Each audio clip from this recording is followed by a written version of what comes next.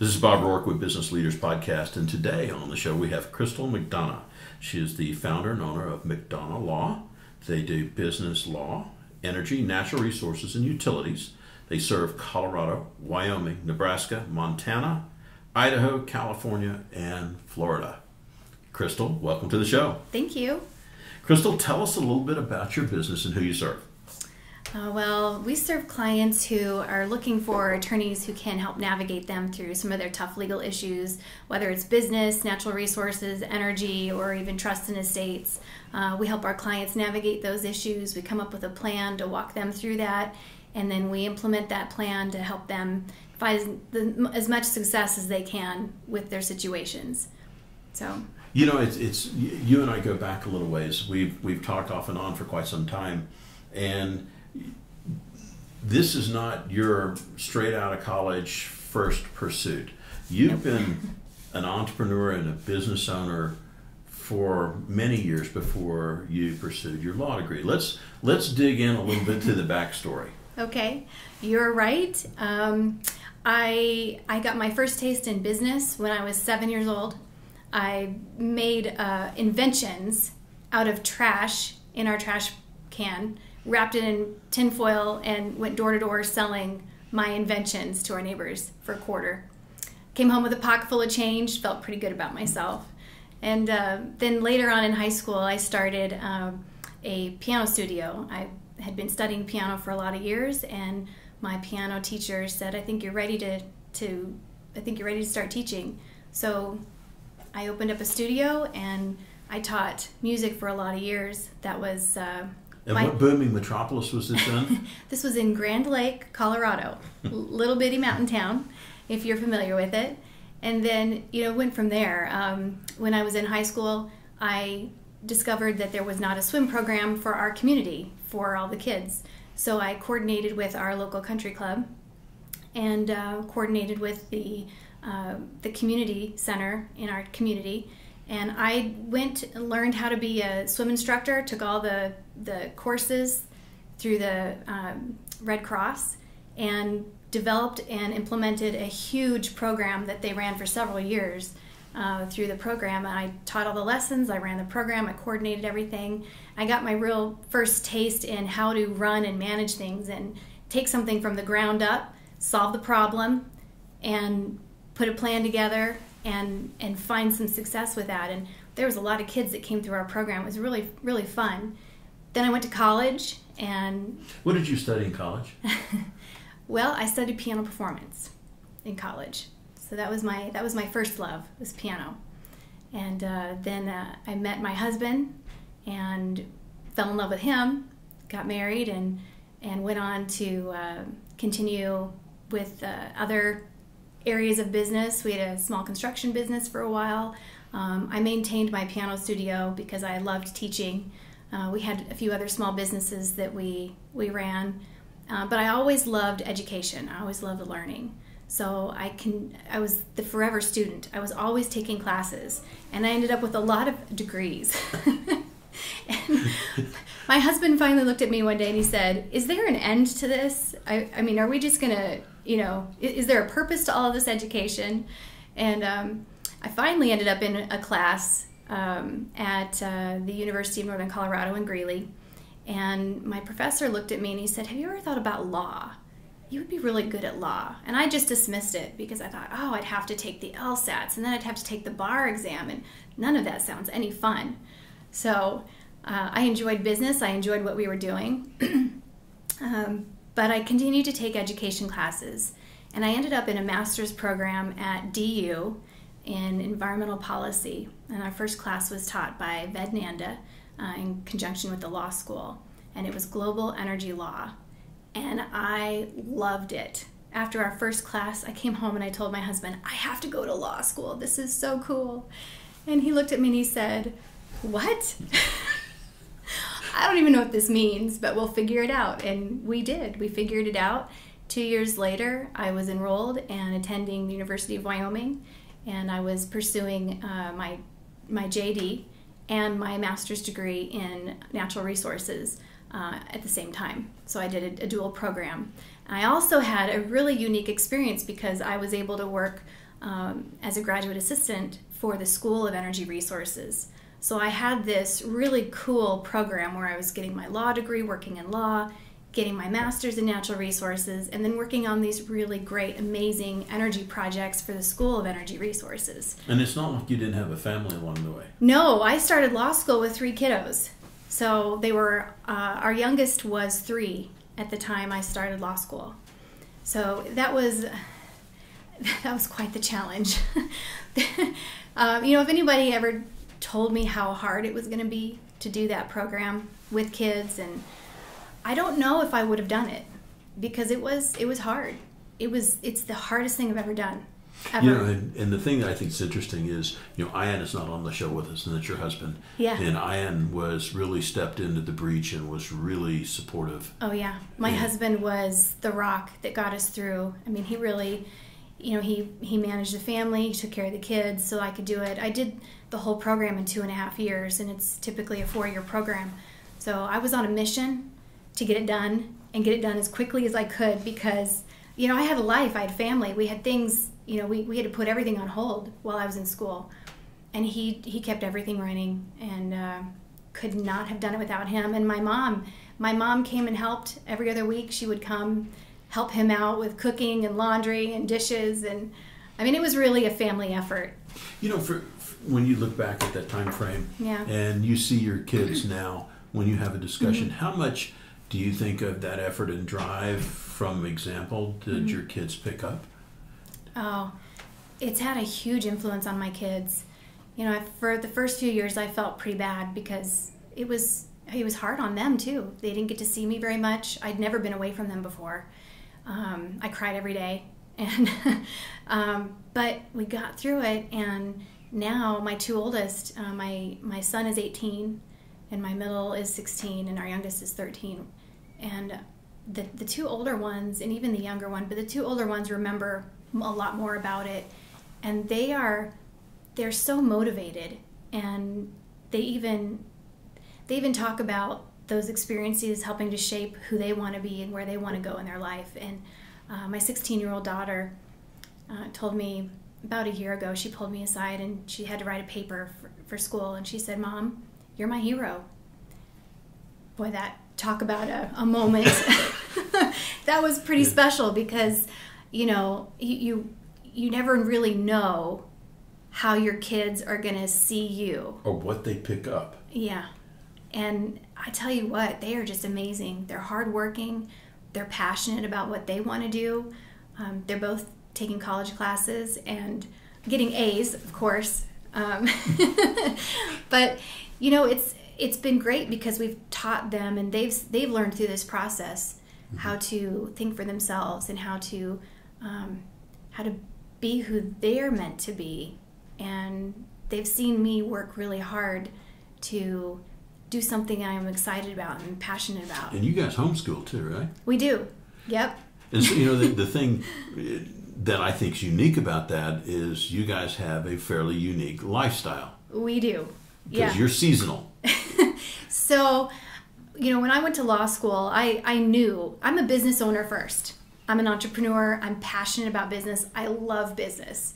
And um, I think that's partly why we have so many amazing business clients because when I get to talking to our, our clients, you know, I'm not only am I talking to them as a lawyer, I'm I'm also a business owner. I I get it. I get what they're going through day to day, and um, so it, when I went to law school, the perp, you know, I knew I was I was going to own my own firm. That was the goal, and I knew that I wanted to um, build that firm around my family so that I could have time with them, and I didn't want to be that that parent that was locked in my office from sun up to sundown and never got a chance to see my kids. So, on purpose, we set it up so that we could have that flexibility so that I could work hard, but then I could spend my off time with my kids. And, um, And so you guys escaped the winters. well, so we started homeschooling. That was kind of the first plan is, is uh, after law school, we started homeschooling the kids, and, and we had some help. Um, and my husband helped, and, you know, it was kind of a team effort there. Um, and the kids just took to it like ducks in water. I mean, they love it, and they love the freedom and the flexibility. And then we decided we wanted our kids to experience, you know, as much as we could. And we wanted them to see a lot of stuff, not just study and read about it. We wanted them to see it. So we bought an RV, a fifth wheel, and uh, pull it behind our truck. And we started taking the kids on trips. We'd go to museums, we'd go to uh, national parks. We, we just started traveling all over the country to take them to see some of the history. And uh, everybody still talks about our trip to DC.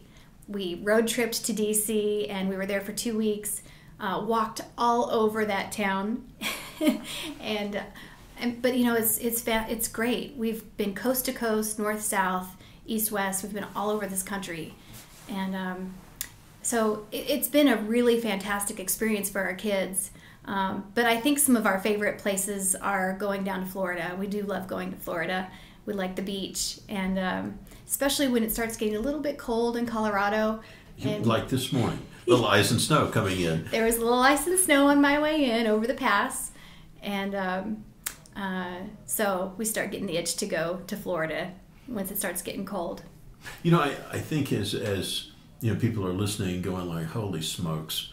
You know, I that's a pretty large bite mm-hmm. or a meal to eat in one bite. Mm-hmm. You know, as as you got through law school and so on, and you forayed into starting your own firm. What are the key takeaways that you would advise somebody else that's getting ready to do something similar? The number one thing I think anybody needs to do, whether they're in law, business, or anything, is what do they want out of life?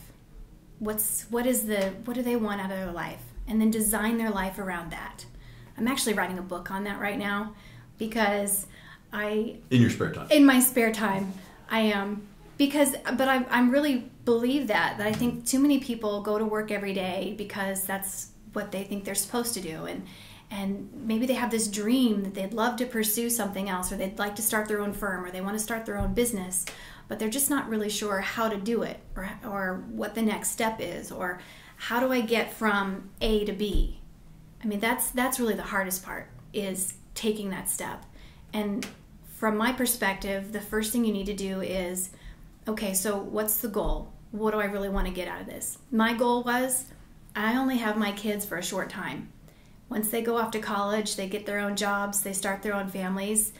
You know, my time with them is limited. So I wanted to maximize as much time with my kids as I could. So my husband and I started dreaming up, okay, what are the what are ways we could do that? How could we? And there is no better way to spend time with your family than in a camper. Cuz it is a small place and when you're all crammed together for a month in a little camper. Kind of got to get along. You have to get along and you get to know each other really well. Yeah. And you get really close. Those are my my favorite memories. And our kids too. The first time we went out on a camper, for the month long trip. Oh, it, we had to take them kicking and screaming. They did not want to be gone for a month. They didn't want to be away from their friends. They didn't want to be away from all other activities. But we got them out on the road, and this just amazing thing happened. All of a sudden, everybody was just having a blast, and we were laughing together. And nobody was on their phones. Nobody was on their gaming devices, and you know, we weren't watching TV at night. We were playing games and laughing and having fun, or going outside and doing activities. So, really, I think the first thing anyone who wants to do what I've done or what you know other people are doing, find out what your passion is, figure out what the end game is, and work your way backward from there. You know, it's, it's interesting, and, and we were talking about it before the show that you're starting to have people reaching out to you that are in the mm-hmm. law profession going, I want to have my life similar to yours. Mm-hmm. Yeah, I get phone calls and emails and LinkedIn messages and Facebook messages all the time from other attorneys who are they they love the law. They love helping people because really that's if you're in law, you have a passion to help people because that's what we do. But they also want to have a life and be with their family. And law can be all consuming. It can because you're you're solving other people's problems. So that can be you know that sometimes that can be very time consuming being involved in that. So, how do you balance that and still be passionate and help people, but at the same time be with your your family and be present for them? So, the challenge is coming up with that plan on how you're going to navigate that. So, you know, it's not always perfect, but it's a learning experience. it's always a learning experience, but that's the best part. You get to walk through it together. Well, you know, the thing that I think is interesting is when you look at the broad range of areas that you you serve, you know, mm-hmm. energy, natural resources, and utilities, and most recently, or soon to come, you're talking about blockchain as well. Mm-hmm. Maybe we talk a little bit about how you develop the interest and expertise in those various sectors. Well, I think it first of all comes down to being passionate about learning. Um, I think that's the key because law is constantly changing, technology is constantly changing. I mean, that's what we're seeing right now in blockchain. Um, we're seeing blockchain being implemented in business, banking, finance, law. Anywhere there's a contract. Anywhere there's a contract, it can be implemented. Mm-hmm. Uh, and and so we're seeing a lot of changes happening right now. And I think the, the key is is you've got to just be a lifelong learner. Yeah, and then your master's degree mm-hmm. is in the natural resource space, correct? Yes. Yep. So my master's degree is in natural resources, and so um, I'm passionate about the land. My grandfather was a farmer, and uh, in Nebraska. So I grew up spending a lot of my weekends and holidays and summers on the farm, helping out with harvest, um, shearing sheep, and you know, cal- your fingers still. Yep, calving season, mm-hmm. and you know, I grew up with that. I grew mm-hmm. up around all of that, so I'm really passionate about that. And um, and I grew up in the mountains, uh, just a stone's throw from Rocky Mountain National Park. I grew up in Grand Lake. It's about as close as you can get. and so I grew up with just a deep appreciation for our natural resources and the world around us. And um, I love working with landowners and and I love working with uh, people who are doing projects that are related to our land and our natural resources, such as water, uh, wind and solar, oil and gas. Um, we, you know, we do a lot of that kind of work related to the land, you know, and we we deal with other land issues that like like easements or um, even disputes between landowners. Because let's just face it. Um, good fences don't always make good neighbors. Nope, and sometimes the fence is in the wrong place. yeah, there's the problem. so it, it it really makes for a, a fascinating practice for me because I get to do what I love every day. You know, I, I think about just the, the business of owning land. Mm-hmm. You know, it sounds for folks that don't either own land or don't own ag, you know, you think, well, you own a piece of ground. Mm-hmm. Oh, well, it's not that simple because you have the water rights, have mineral rights. Mm-hmm. You know, you have easement for access or mm-hmm. easement across, mm-hmm. or any number of items which you know for you you have more of an appreciation from your legacy and how you grew up. Yeah. You know, and and you were involved also in some some unique activities in Wyoming that I think that was in the utility space, wasn't it? Yeah, so when I was um, in my law program and my master's program and working as a uh, um, for the School of Energy Resources as a graduate assistant, I was assigned to work and do research for the Wind Energy Task Force um, for the Wyoming legislature, which was really fascinating because here I was just a law student and I was doing all this research on a lot of really big emerging issues related to renewable energy and land use and that kind of thing. So I did a lot of research. I wrote reports and gave presentations to the legislative uh, body. It was really a, a, unique experience, especially for a law student to really get to see firsthand, first of all, how our laws are made. And second of all, how much work goes into trying to prepare laws that make sense related to our natural resources and our energy resources. So it's it's a unique balance between landowners and energy development, and that's the that's the balance there. Um, but we do you know we do both. We work in both spaces, and um, it really was a shaping experience for me because I got to talk to a lot of landowners. Uh, I got to work with a lot of energy companies and utility companies, and uh, it really was a unique experience. I loved it.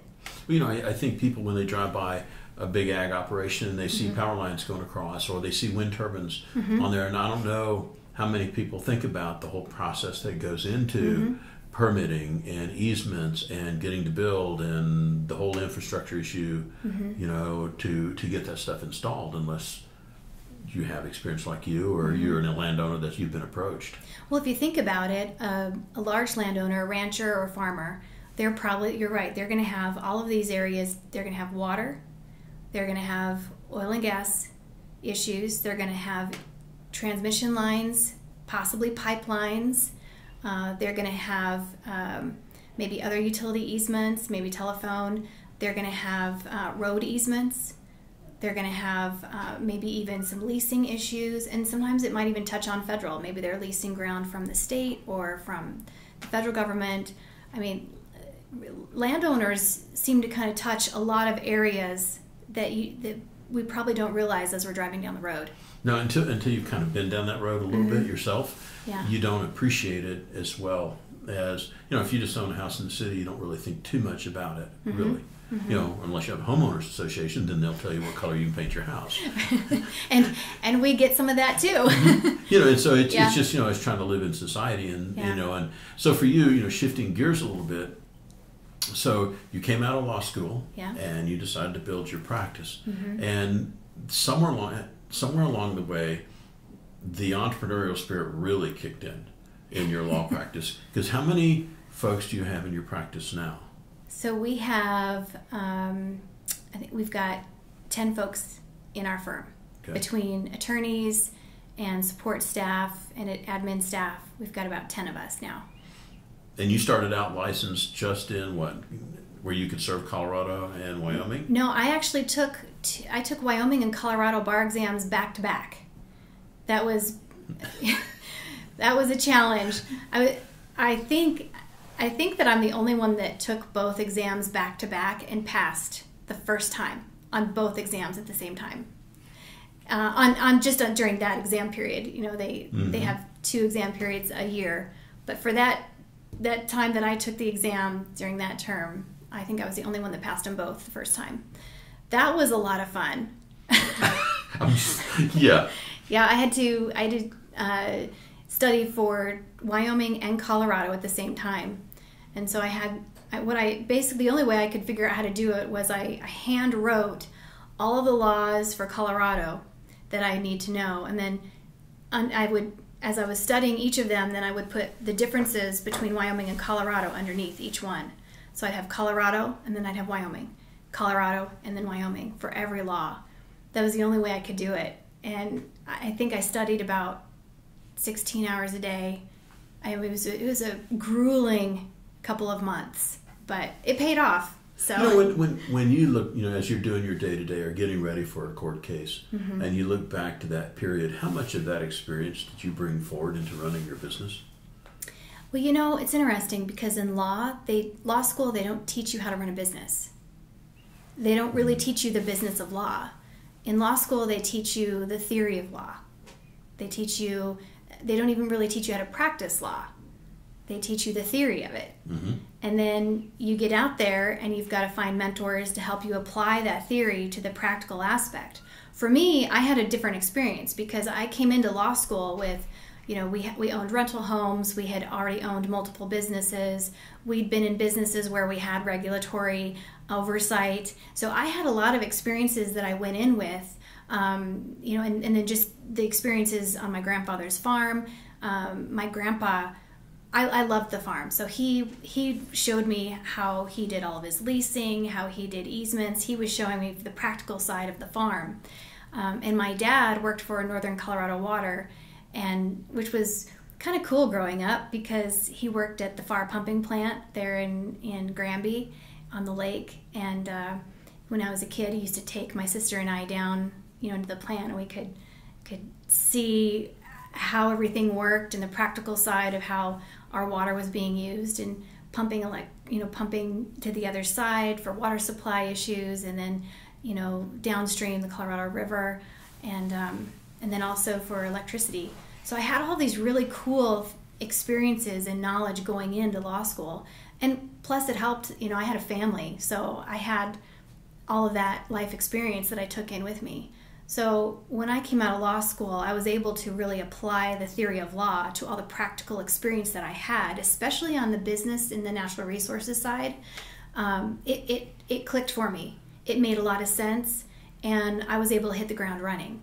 So, you know, but on the business side, they don't teach you that.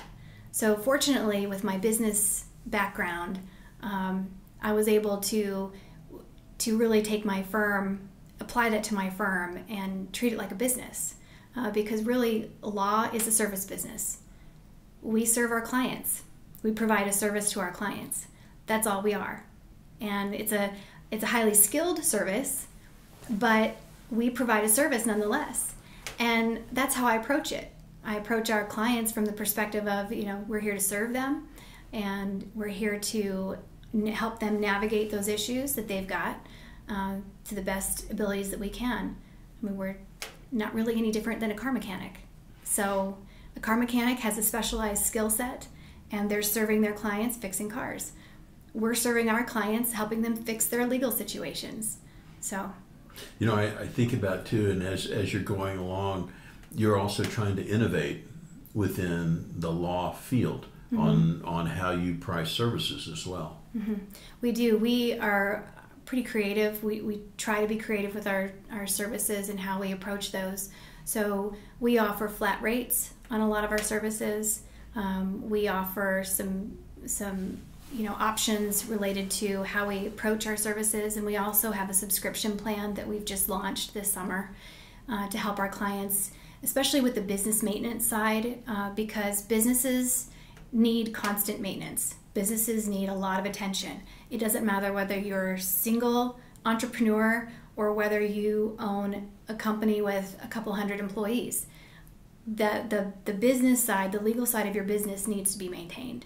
And so we've started a subscription service to help our clients manage their businesses on the legal side and manage the cost too, so that it's a it's a it's a monthly fee, a managed cost, so they can budget what they need mm-hmm. and they can approach their legal services from a little more practical perspective rather than um, you know approaching it from a crisis management because that's really what we want to avoid. Well, I think about if you have an equipment fleet, right? You have mm-hmm. preventative mm-hmm. maintenance that you pull on all your equipment, so right. so you don't blow a tranny or whatever you do. And I don't think very many people adopt the same mindset mm-hmm. on basically doing preventative maintenance on your legal structure and yeah. legal requirements. Well, and and that's the other thing. We we've also started a new unique service where we come in and do legal audits on companies, and that has been that's been so great. It's been really rewarding from from my side because we're coming in to businesses that that maybe they don't even know what legal maintenance they're supposed to do.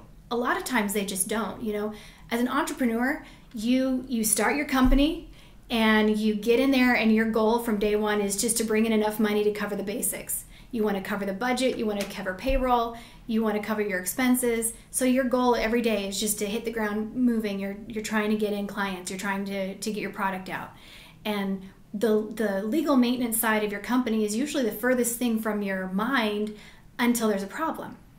And then we're dealing with crisis management instead of trying to maintain things you know? And i you're right you, you can talk about it from a, uh, managing a, a, fleet of vehicles or even from our, our personal health. We go to the doctor we go for regular checkups. We want to make sure we're healthy. We want to catch something before it becomes a problem.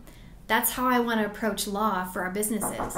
So we want to make sure that we can manage those issues and we don't get stuck you know i, I think too for a lot of the business owners that are out there you know when when they get to the stage of life where they're looking at selling their business. Mm-hmm. And so they've got the sale process. The, the, the potential buyer is going to look at their business from how do I de risk the business? Do they have policy and procedure? Did they do all the, the legal work inside? So I think from you guys' perspective, when you're working with the business owner mm-hmm. and you come in and do the stress test, mm-hmm. uh, I think the business owner doesn't really realize the value that adds to the company if it goes to sell.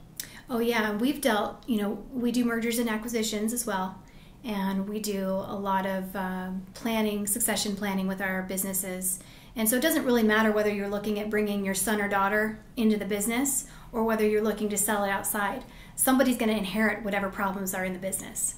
So yeah. it's it's always better to know up front what they are and fix them. And if you can fix them, sometimes you can increase the value of your company which is a huge benefit. If you're looking to sell outside to you know another entity why wouldn't you? They're going to look. They're going to look. And and they do their due diligence. And you know and we get called on that due diligence often during a merger process or an acquisition. Uh, we'll get called in the middle of it and uh, you know the, the, one of the parties or one of our clients will say um, during the due diligence you know this came up can you fix it Well, it always is a huger hassle to fix it after the fact rather than to get it done when it needs to be done. So, Yeah, it's a negotiating point from the acquirer's standpoint when they're Yeah. looking that I found a problem you didn't identify. Yep. And then they go, well, what else is there out there? mhm. You know, I, I think for you, um, you know, people go, well, what does your normal day look like? How do you manage your day? well, I'm a business owner first and a lawyer second. So, the way I manage my day, the first thing I do is I get up and I the first thing I do is I look at my clients. What's your typical get up time? Um, I like to sleep. I'm not an early riser, but I'll stay up super late. And so I'm usually up by about 7 Mhm. And first thing I do is check my phone. Probably like most business owners, I check my phone and I'm checking my emails, and I'm looking to see okay who who needs me first this morning. So I'm kind of looking at whatever emergencies are coming in first thing, and I try to tackle the emergencies first.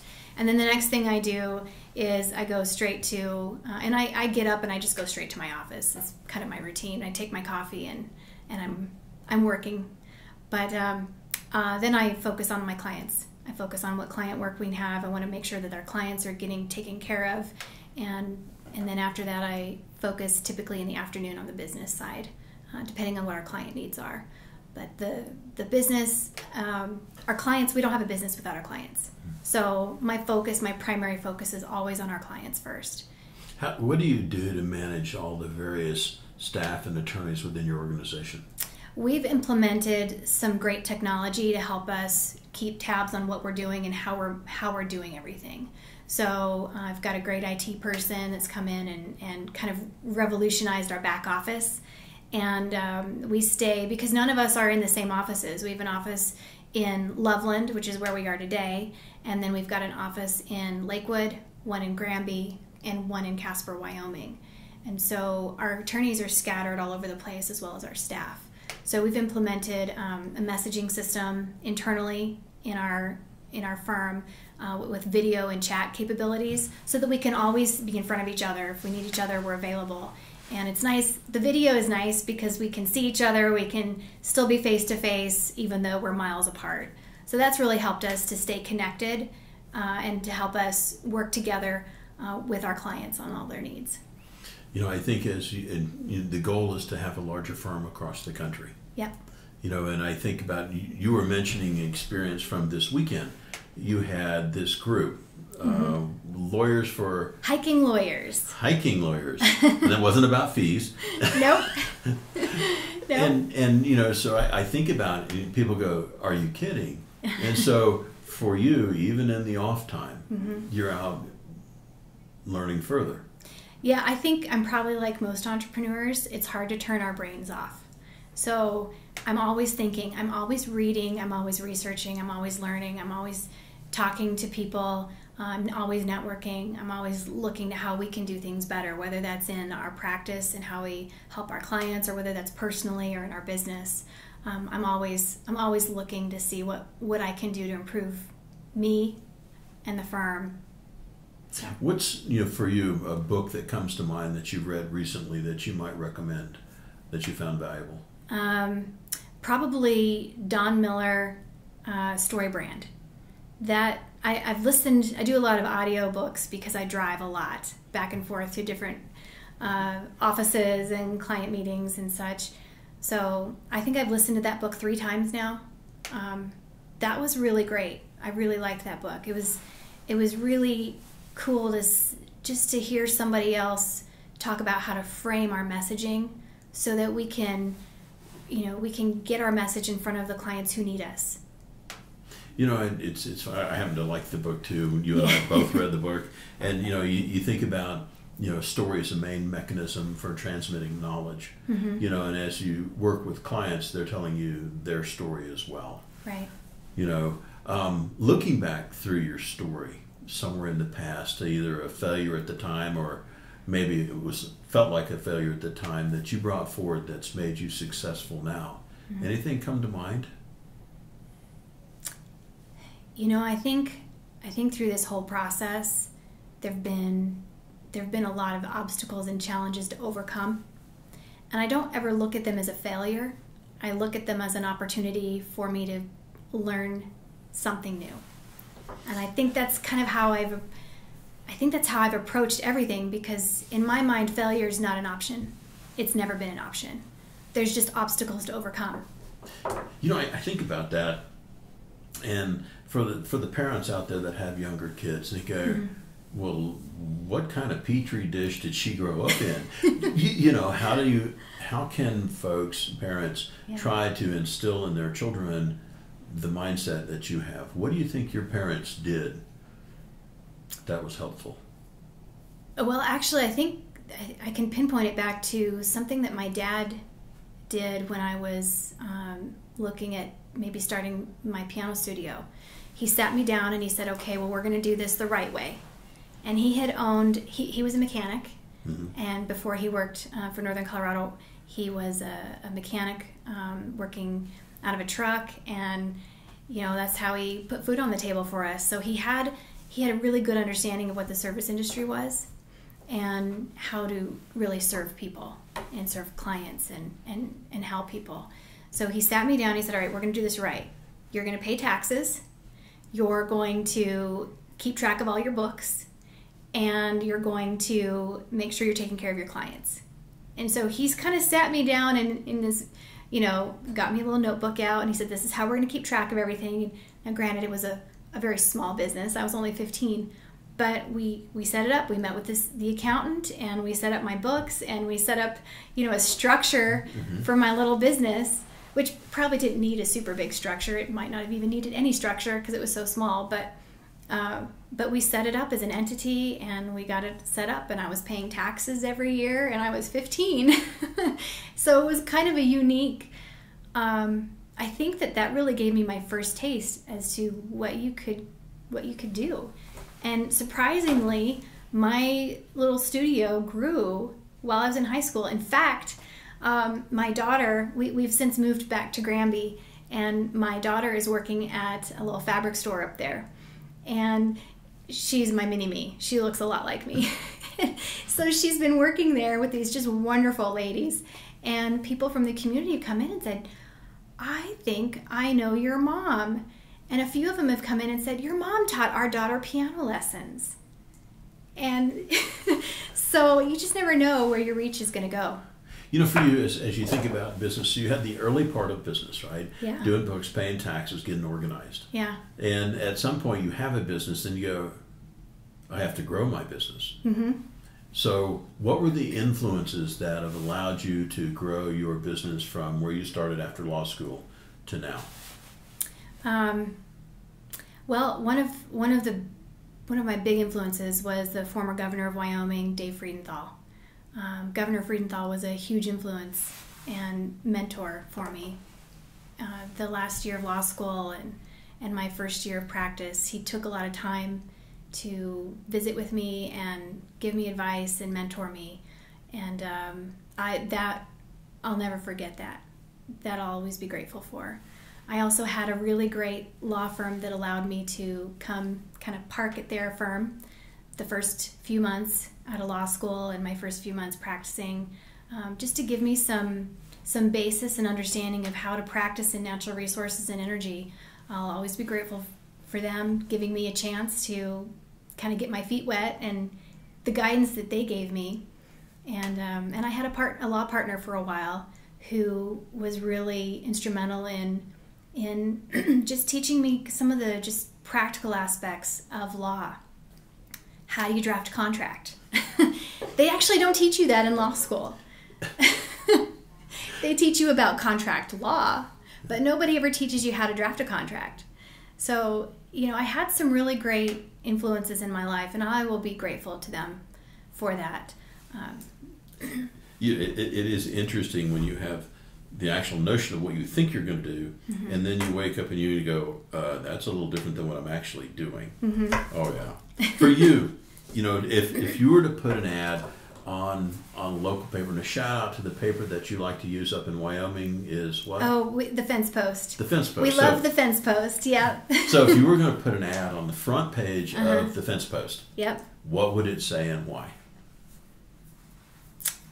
Well, we do put ads inside the fence post. All right. um, and it really, I think our message is, you know, we're going to help you with whatever legal issues you've got.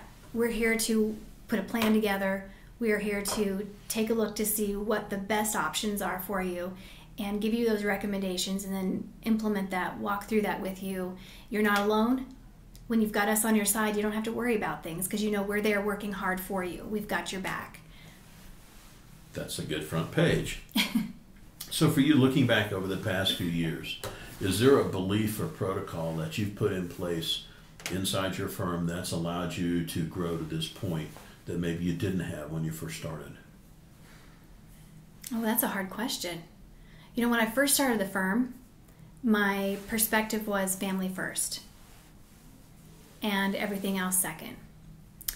As the firm has grown, and as our client base has grown, and uh, and you know now we're managing staff and other attorneys, um, I think my focus has really been take care of our clients, take care of everyone in our firm, treat everyone with respect and kindness.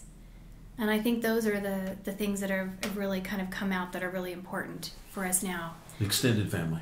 Yeah, it is. It's an extended family. We're you know we're here to take care of each other. You know, if you were, let's say there's either a, a an attorney that's just graduating and they got their legal schooling done and they've tested and passed the bar mm-hmm. and they're ready to go, or you have an attorney goes, you know, I don't, I like the law, I don't appreciate my life right now. Mm-hmm. What advice might you offer to those attorneys out there that are either just passing the bar or would like to take and emulate what you're doing? So I think the first thing that they need to do is decide what they want out of life. They need to, they need to design what they want their life to look like first and uh, I think that's I think that people are just so focused on getting that job, getting that first job, or getting a job to put food on the table that sometimes they they forget to think about what they want their life to look like and how they want to enjoy their lives. I get a lot of attorneys who call me and say, "Crystal, I'm I'm stuck. I've been doing this for a long time. I'm burned out. I don't how do I love the law. I want to keep doing the law, but I can't keep doing it the same way." And so for those attorneys, I first thing I tell them is, well, what do you want out of life? What's your dream? What's your dream? I had one person tell me, uh, I would love to be able to travel Europe and just, you know, go visit all the historic places, but still be a lawyer and still practice. So, okay, let's design that. I, in fact, I met a really fascinating woman on our hiking lawyers yesterday. Uh, we went and hiked up in Rocky Mountain National Park, and she's a Social Security appeals attorney, and she lives in Morocco. Cool lady, cool attorney. She's smart, and she's she decided her her and her husband decided they wanted to raise their kids in Morocco, and they wanted to experience another culture. And their kids are growing up learning three languages, and you know it's it's and cool. They, and they live on the beach. And they live on the beach and so it, you know you can do it so what is it that you want what's your dream what do you want design your life around that for students who are coming out of law school i say find a mentor who's doing what you want to do and living their life the way you want to live your life find that mentor and then learn from them how to emulate that and do that what was i going to ask you it was on my mind social media? Oh. That's a good question. So, how do folks find you on social media? So, we are on LinkedIn, we're on Facebook, Instagram, and I've learned we're on Pinterest now. yeah, but you can find us on our website, okay. www.mcdonoughlawllc.com. And it's M C D O N O U G H. Yes, mcdonoughlawllc.com. Super. Well, Crystal, you know, we get along really well. We've talked a lot uh-huh. off show, and, and so I, I really appreciate all that you do, and and you know, in particular, you know, the focus that your family has on your children and trying to educate them as well as you know demonstrate by example. Mm-hmm. So uh, I appreciate you taking time out of your busy day to be on the show. Thank you. I enjoyed it. Absolutely. Thanks so much. Mm-hmm.